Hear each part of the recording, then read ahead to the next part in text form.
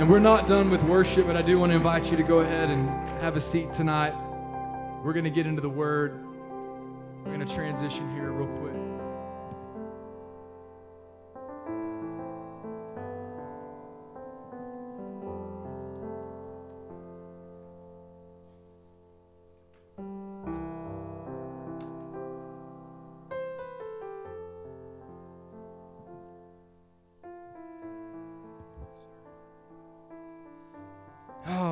Didn't want to stop.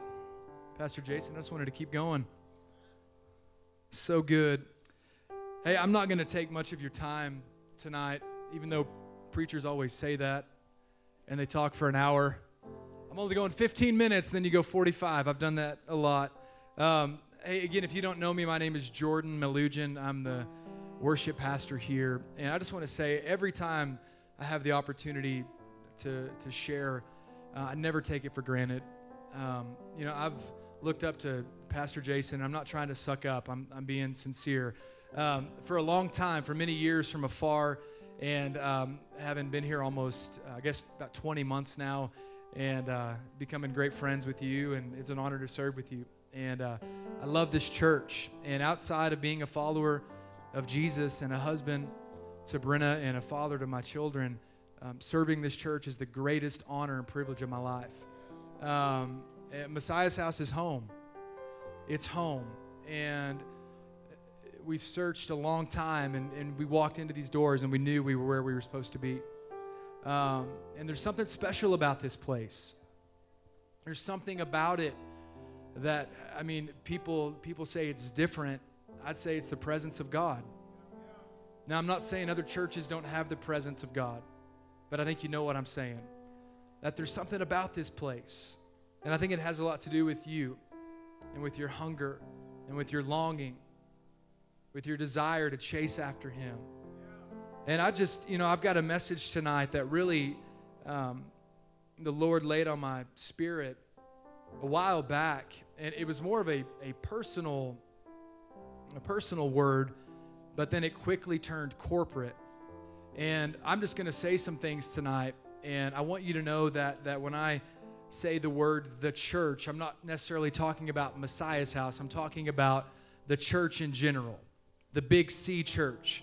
And, and I'm just going to be honest, I'm concerned for the church. I'm concerned for the church because there's things that I've seen. You know, I've been in worship for, I guess, 15, 16 years now. And I've been a part of churches that are both big and small. I've been a part of churches that had all the money in the world and churches that didn't have any money.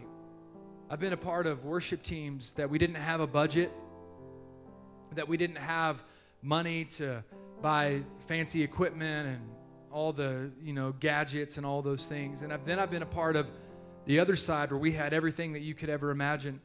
And one thing that's always struck me, the very first place that I ever led worship was a small church here in Amarillo. And one of the things about it, we didn't have a lot, but what we had was the presence of God.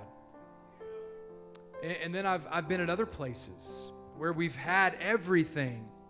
And I'm not saying that the presence wasn't at these places, but I saw too many people who were alive walking in like they were dead. And there was no response. Does that make sense tonight? And really, there's just a, a burden in my in my spirit that that I want to attack this this idea that worship is entertainment. Um, because I, there's a really a concerning trend that I see in the church today is that whatever this church is doing, then we have to do the same thing to try to fit into that box because really we're not chasing after presence, we're chasing after popularity.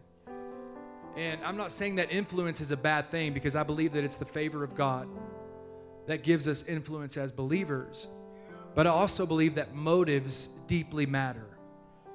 My motives matter, my intentions, they matter. And I just want to, you know, make this statement tonight. If you find yourself being entertained in worship, then it's not really worship. We've got great musicians. We've got a really solid team. And it's easy to get caught up in, wow, the, listen to them. They're great. And I have to sometimes caution myself when I'm up here to say, we sound really good right now. This feels really good. I'm really nailing this song, right? And then I'm like, I'm entertaining myself.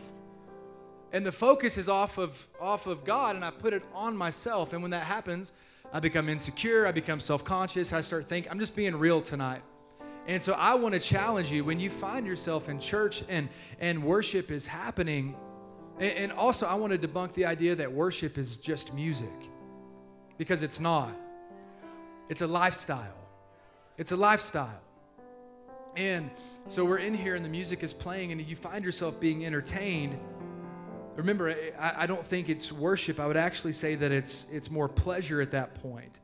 Um, and perhaps it's even unpure. And I want y'all to know that I wrote these notes out. And typically, when I speak, I make about three or four run throughs. I didn't do a run through because I wanted to speak from my heart tonight. And I think that the, the sad reality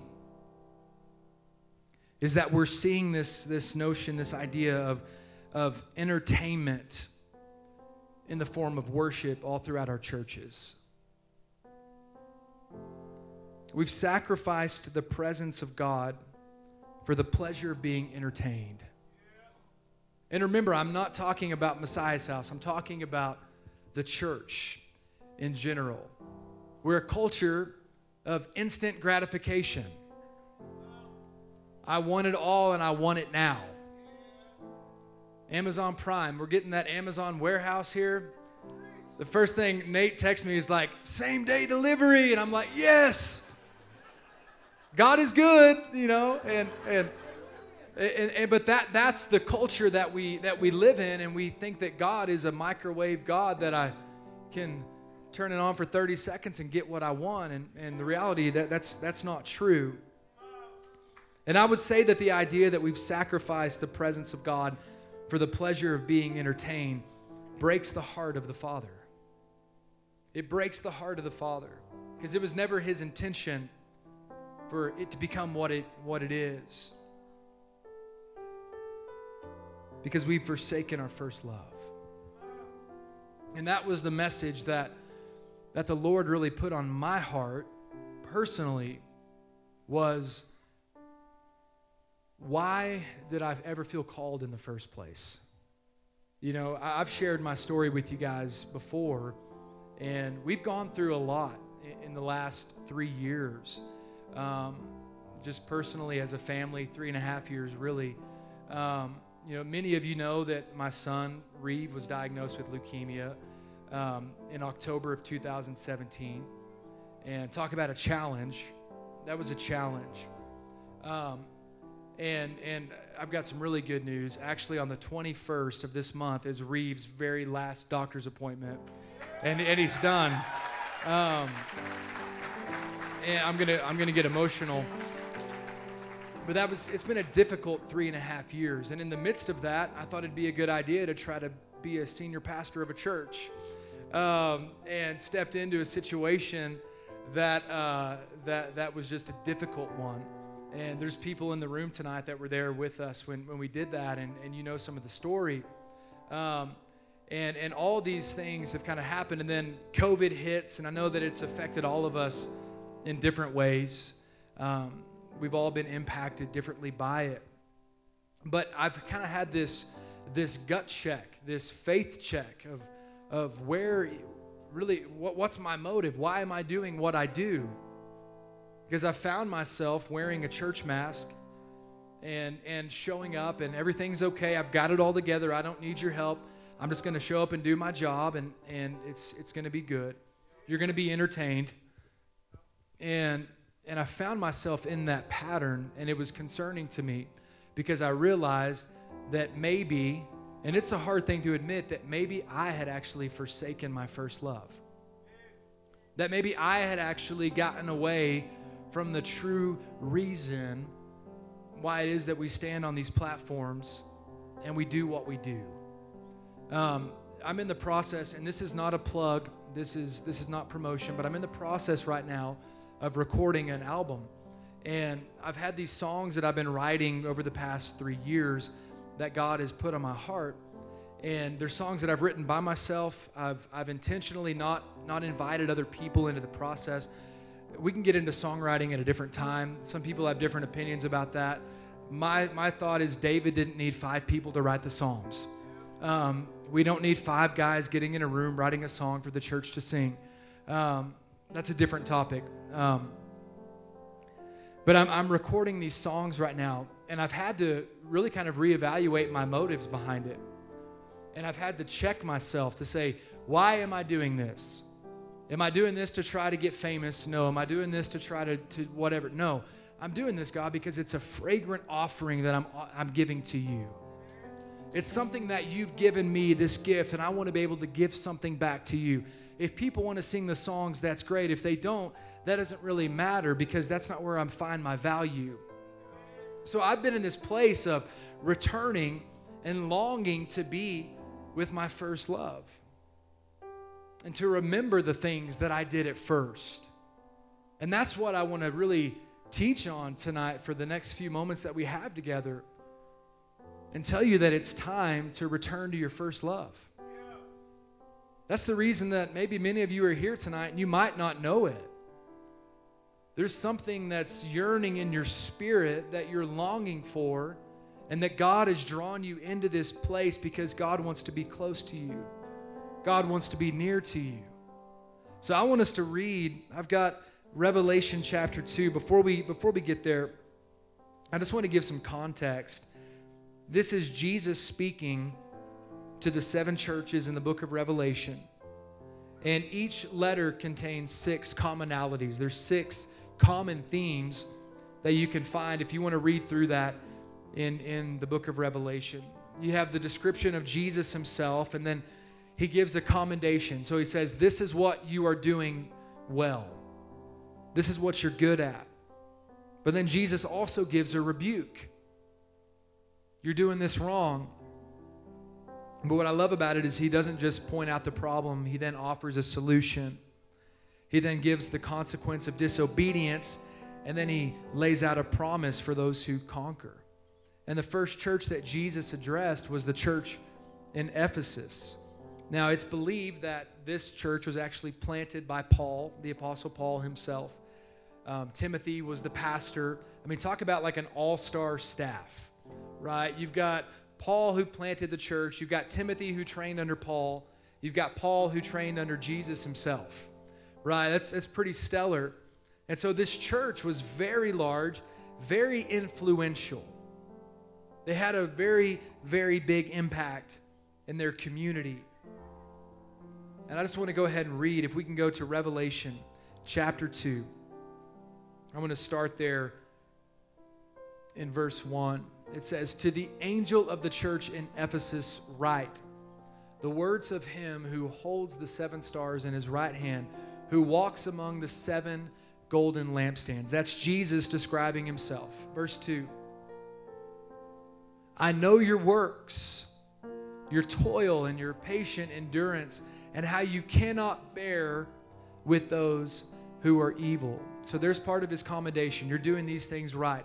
But if tested, those who call themselves apostles and are not, and have found them to be false. So we're going to pause right there for a moment. So, what he's saying is you have doctrinal vigilance and endurance, that you're sound in the scripture, that you teach the word, that you value the word of God. And you think, well, that's all great, right? There's a bunch of us in here who know the word of God inside and out. And sometimes we think that's enough, but look what Jesus says. Let's go ahead and keep on going to uh, verse 3. He says, I know you are enduring patiently and bearing up for my name's sake, and you have not grown weary. Verse 4 But I have this against you, that you have abandoned the love you had at first.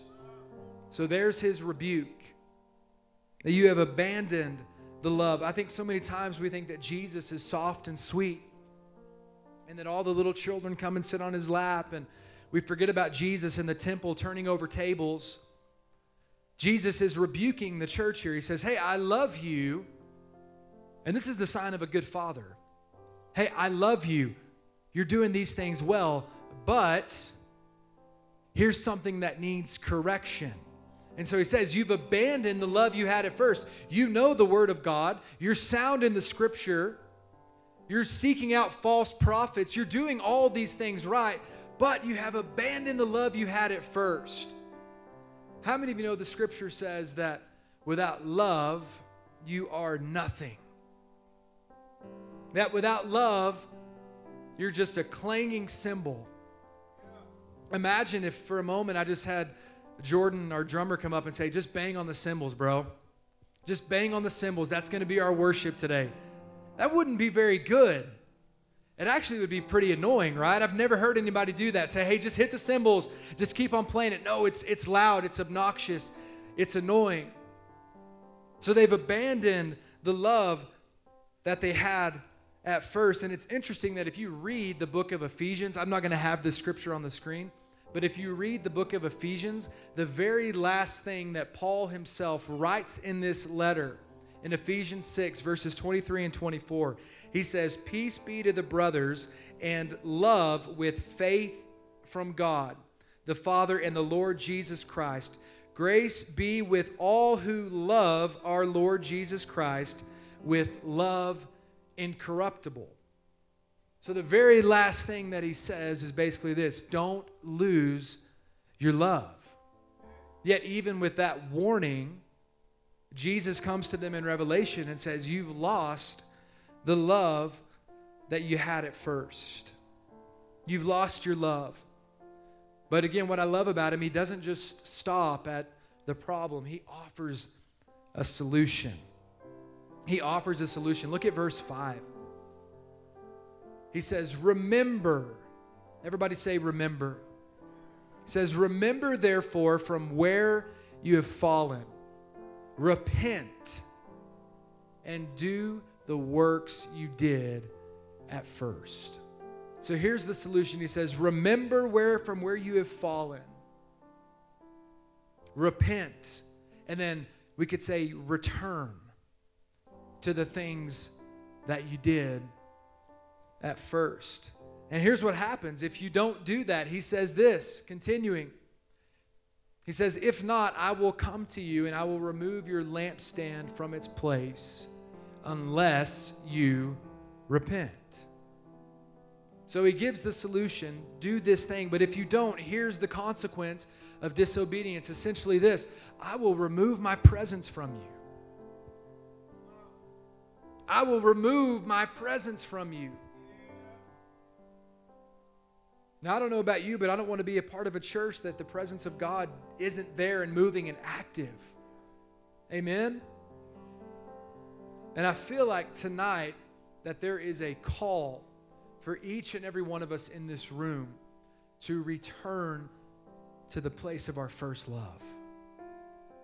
I'm not talking about your freshman year of high school going to church camp and you know, we had those moments where you're around the campfire and you're throwing in your Limp Bizkit CDs and, you know, Linkin Park. That's old school right there.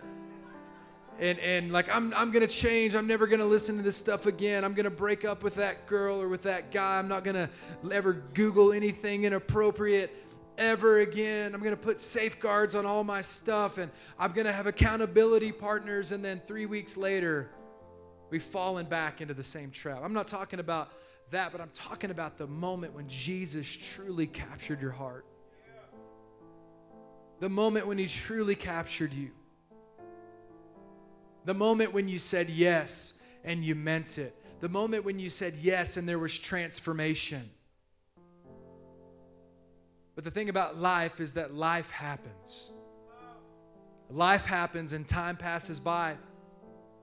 And how easy is it to forget? That's why he says, Remember from where you have fallen. Remember the heights from where you have fallen. Remember where you once were. I think that's the problem in the church today. And again, I'm focusing in on, on the worship movement because that's, that's kind of where I live. Is that we have worship leaders and even pastors who got into this thing with good intentions, with good motives. But once popularity started to creep in, And once these things of the world began to creep in, and the church started moving away from kingdom culture and started trying to fit into worldly culture to be popular and relevant and attractive for outsiders, and watering down the Word of God and playing three songs with tracks and not allowing the Spirit to move. That's where the disconnect is. And I've been a part of that church. And I'm telling you, it's not fun and it's not good and it doesn't please the Lord. There is a place tonight where we can return to that place of intimacy. And that's really what I feel like this is. It's a place of returning to intimacy. I don't know about you, but the most powerful moments I've had with the Lord have not happened on this stage, but it's happened when I'm alone. It's happened when it's just me and Him. My kids are little right now, and I still have the pleasure and the privilege of my kids wanting me to hold them, wanting me to, to love on them. And I just think about one day that's going to be gone. And there's going to be nothing more that I want than to hold my kids. And I think that maybe God is saying, I want to hold you. I want to hold you tonight. I want to love on you and kiss on you and do all the things that we used to do. I want to hold your hand as you run through the park. I want to do all these things. Remember what we used to do? One of my favorite stories in Scripture is when Jesus teaches the, the parable of the prodigal son. Many of you know the story. I'm going to paraphrase it tonight. Worship team, y'all can go ahead and come back up here. Um, you can find it in Luke chapter 15, starting in verse 11. Jesus tells this story, and, and in, in Luke chapter 15, he gives three parables of the, the lost sheep, the lost coin, and of the prodigal son. Really, to show that anytime something is lost, the Father runs after it because he values every single one of us. Paints a beautiful picture of God the Father and his relationship with us. That he'll leave the 99 every time to get the one. It's beautiful to think about. And so we see this parable in Luke 15, and, and we, have, uh, we have a father who has two sons. And uh, one of the sons one day decides that I want my inheritance. I want it all. I want it right now. And what does he do? The father, really, I believe, out of the mercy of the father, he said, Okay, son, if this is what you want, I'm going to give it to you. Here it is. The Bible tells us that he went away to faraway land. We could basically say maybe he moved off to Las Vegas and he did Vegas. You know, he wasted all of his money on everything that you could possibly imagine, all kinds of evil and everything. Wasted it all. One day he wakes up and he's sleeping with the pigs and he finds himself in, the, in this, this pit with the pigs and, and he's eating the food that the pigs eat because he doesn't have anything else and the bible says that he comes to his senses and he remembers who he was that he remembered wait a second i am a son of my father and my father has all that i need so he remembered. The next thing he did was, in his mind, he began to repent. He began the journey home, and I imagine he makes up this long speech and he rehearses it over and over and over. Dad, I'm sorry. Dad, I'm sorry. The Bible says that he said, I've sinned against heaven and against you. Would you please let me come home? I'll be a, I'll be a servant in your house, Dad, if you just let me come back. Even though I'm a son, I'll be a servant. The Bible says that he began this journey home. And what I love about it, and this is what I want us to understand tonight, what I love about this story is that we see this son who is broken down, who's beaten up, who's lost everything, who's lost everything, who's wasted all that his father ever gave him. He said, I'm going to come home. And while he's on the road home, his dad wasn't just sitting on the front porch, wasn't doing anything else. The Bible says that his dad was watching for him. And it says, while he was far off, that his dad saw him and he began running to his son. He began running to his son because he loved his son. And tonight, I just want to extend the invitation to you. There is a chance tonight for you to return to your father. There is a chance tonight for you to return. You know what the best part of the story is? I almost forgot. That when the father embraces the son, the Bible says that he kisses him and he loves on him and he hugs him. He gives him a ring. He says, Go get my son some new clothes and we're going to have a party. We're going to celebrate because my son was lost, but now he's found. He was dead, but now he's alive. Come on, there is a party tonight that you are invited to, that God is offering you to step into tonight. So come on, everybody back on your feet. We're going to get back into worship. I think I want to open up, Pastor Jason, if it's okay with you, just have the front open up down here. Um, I just want to invite you tonight. You can return to the place of intimacy. You can return right here, right now to this altar. If there's anything in you that you need to lay down tonight, anything that you need to bring to your Father church, I want to encourage you. Come on, this is open right now. It's open right now. We're going to get back into worship. We're going to sing about returning to our first love. But I want to encourage you to listen for the voice of your Father tonight. Listen for his voice.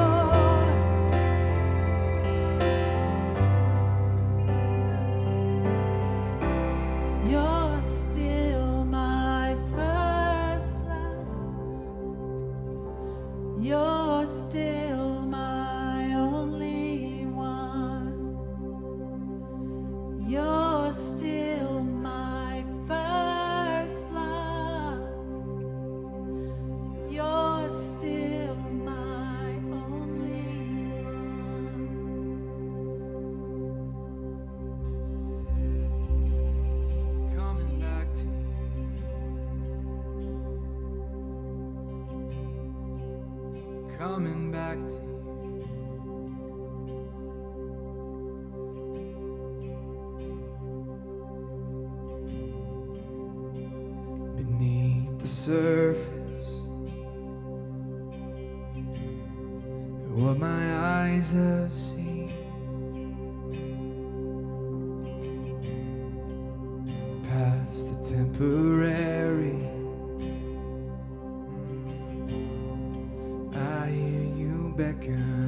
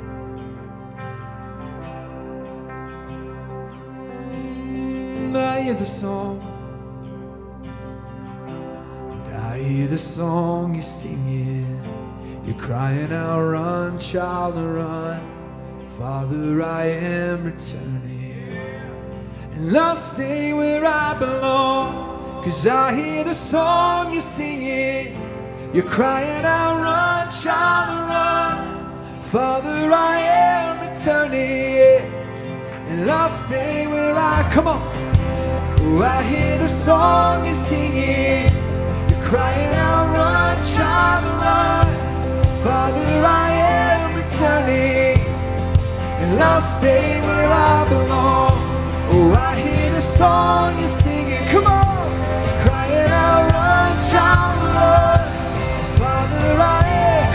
keep singing out. I hear the song. Oh, I hear the song you're singing. You're crying out, Lord, child, Lord. Father, I am returning. And I'll stay where I belong. Cause I hear the song you're singing. You're crying out, Lord, child, Lord.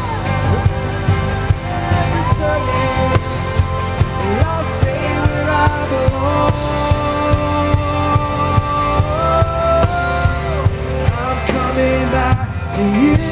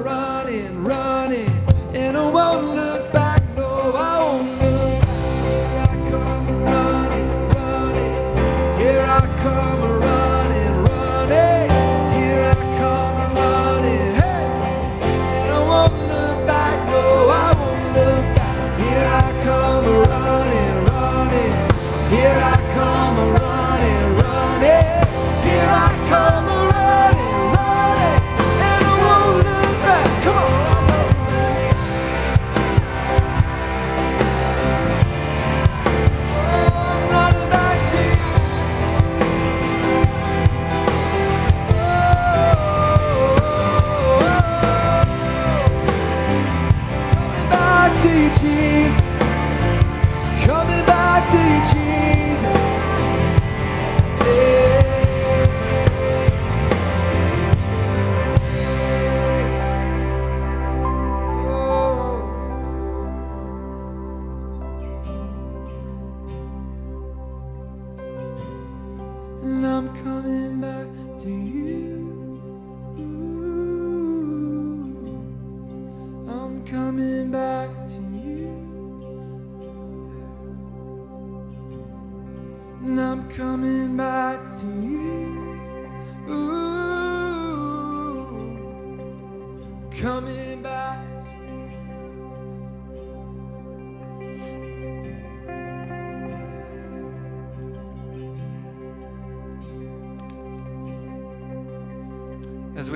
Worshiping,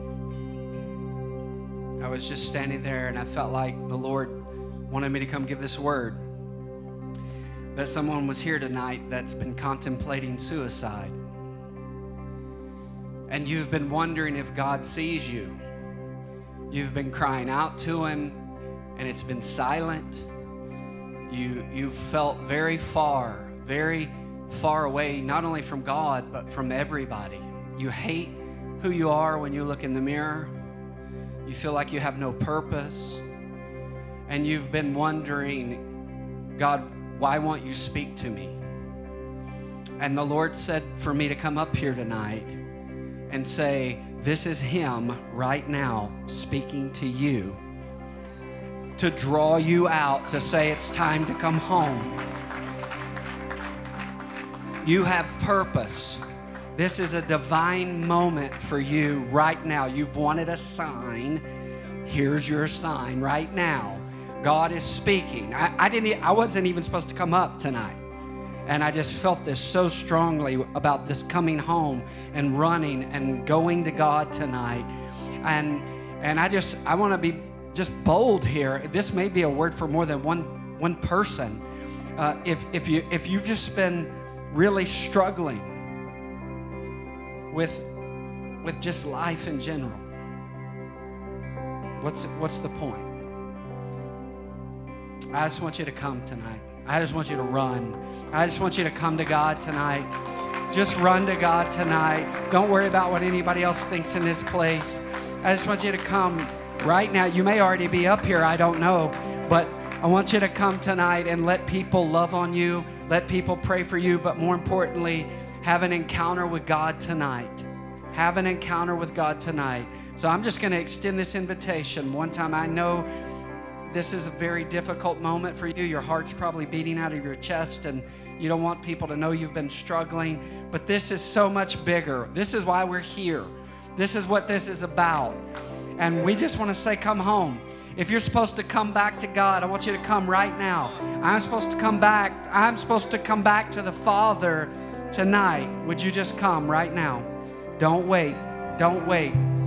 Come, Lord. Let's just all begin to pray. Pray in the Spirit right now. We're in a battle right now.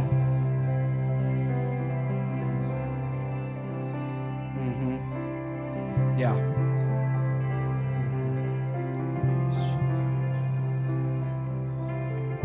Yes, God.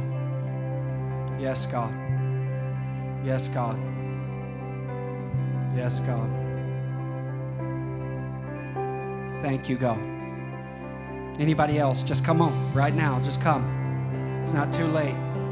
You don't have to say anything. I just want you to come. Thank you, Jesus. Thank you. Mm, Come.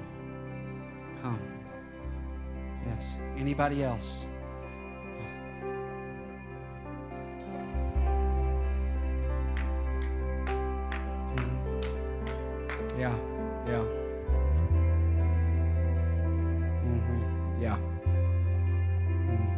Just I, want to ask our altar ministry team tonight if you came ready to, to pray for some folks. We've we've had a couple of people come here. I don't know what all's happening right now, but I want us to just be sensitive to maybe uh, come and if God's leading you to pray over somebody, pray over them, and let's just really give this moment to the Lord and let's let's just let's go after God. Father, we just bless you right now. We thank you for what's happening in this moment.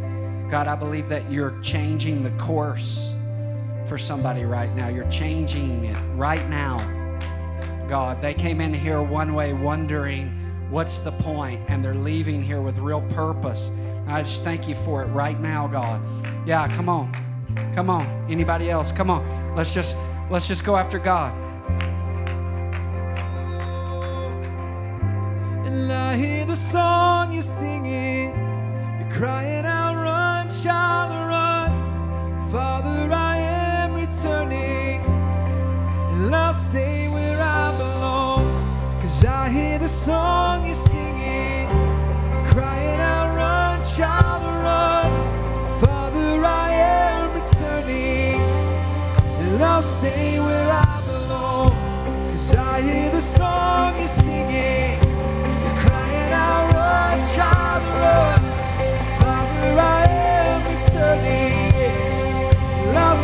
one more time.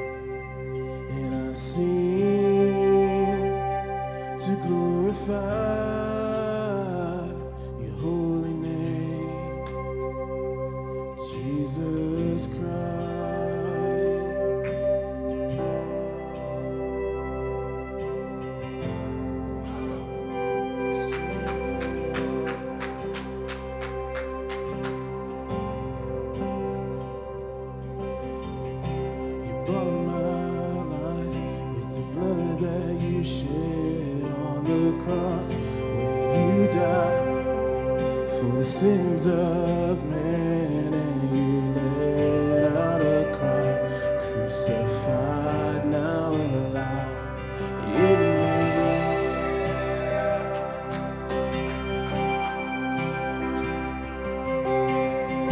These hands are yours, teach them to serve as you please, and I'll reach out, desperate to see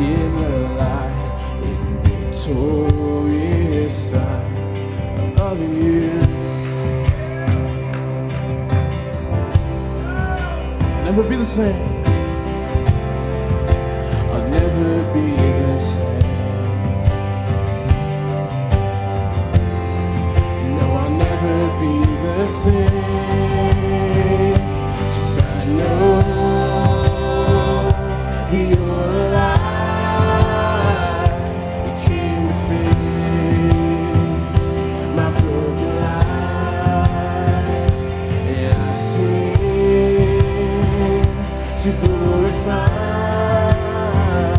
your holy name, Jesus Christ. Cause I know.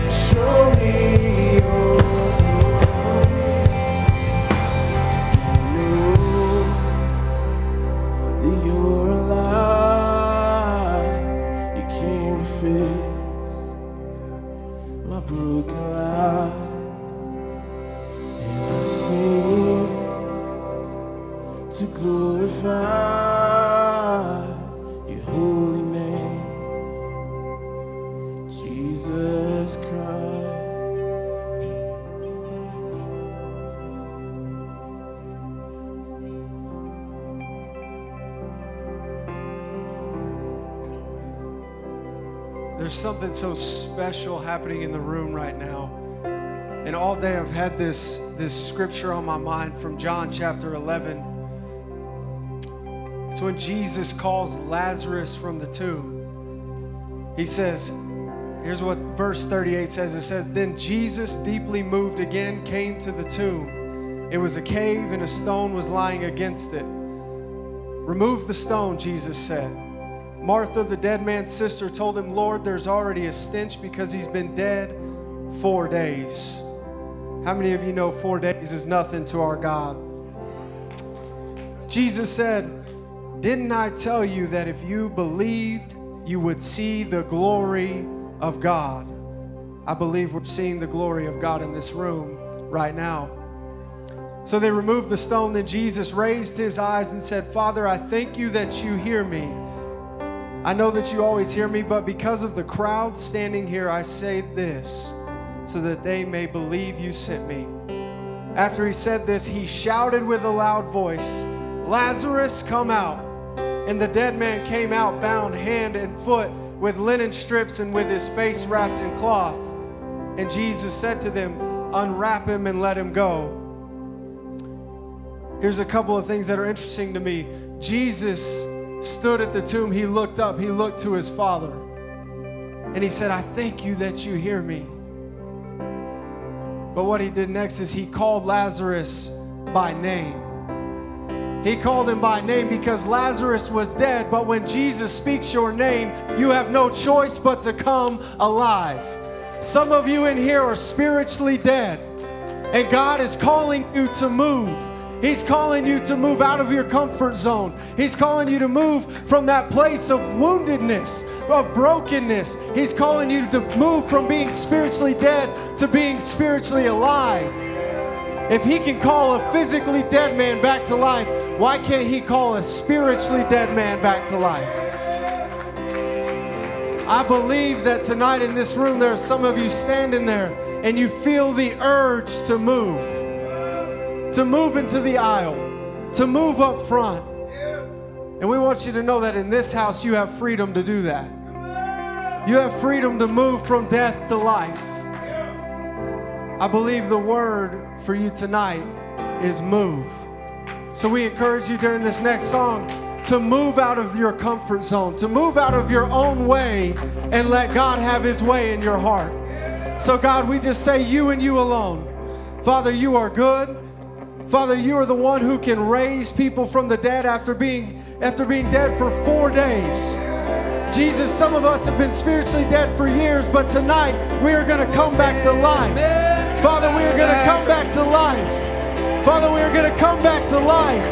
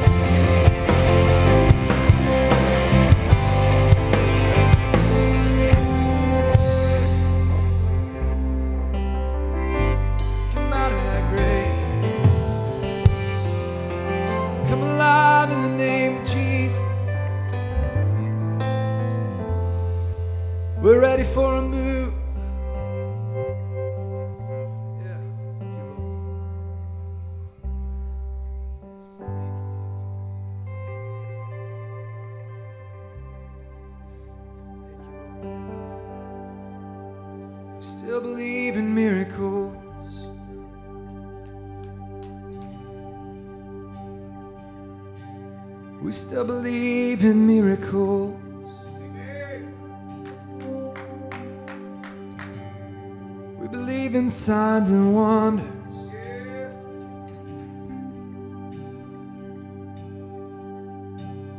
Cause mountains still being moved. Strongholds still being loosed. And God, we believe it. Yes, we can see that wonders are still what you do. Bodies are still being raised. And giants are still being slain. God, we believe. Yes, we can see that wonders are still what you do. We are here for you. Come and do what you do. We are here for you. Come and do what you do. Set our hearts on you. Come and do what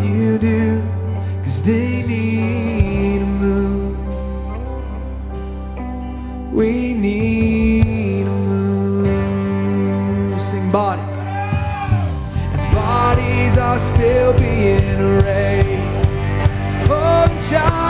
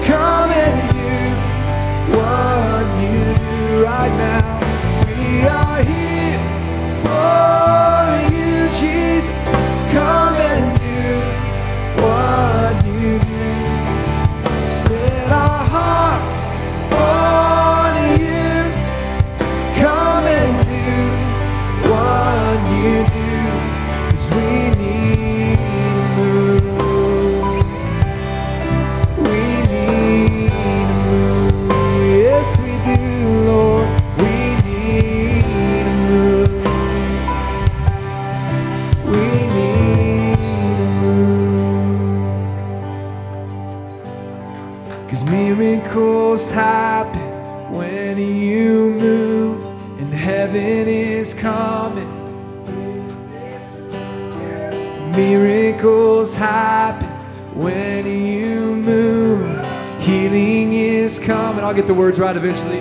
This room and miracles happen when you move. Healing is coming in this room. Miracles happen when you move. Heaven is coming. Oh, miracles happen when you move. Healing is coming right now. This room. Miracles happen when you move. Heaven, come on, let's sing it again. Miracles. Hey. Hey. Miracles happen when you move. Healing is coming in this room miracles happen when you move. Heaven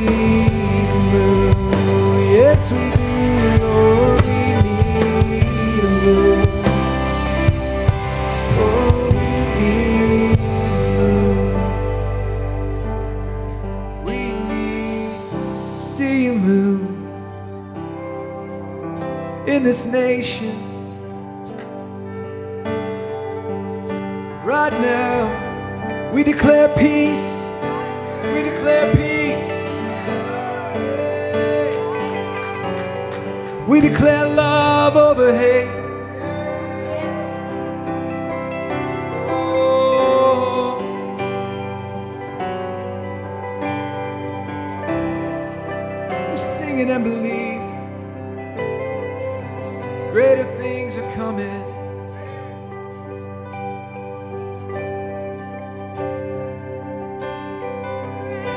We're gonna see it in our time, I believe.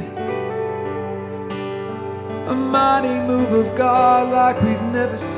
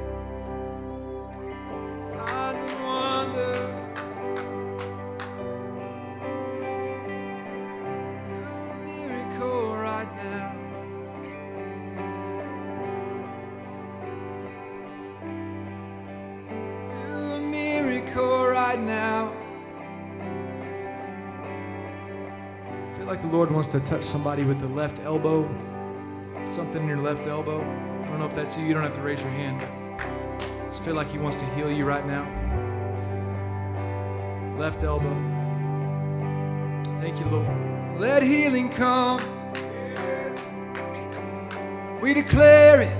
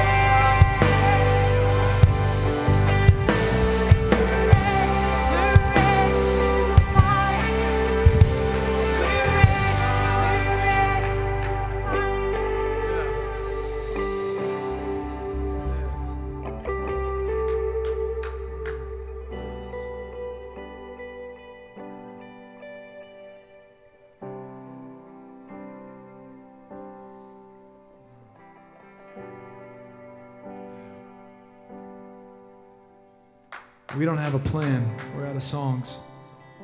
But the Spirit's still moving. And my phone was playing music in my pocket. I was hearing something. I thought, Holy Spirit. We're just going to let Him keep moving tonight. We'll stay up here. There's ministry going on.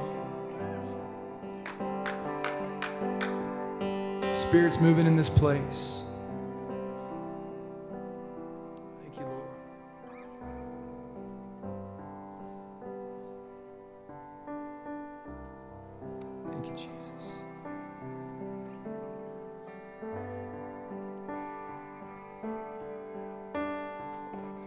As we end this, I feel like the Lord said this is a great time to practice intimacy with Him.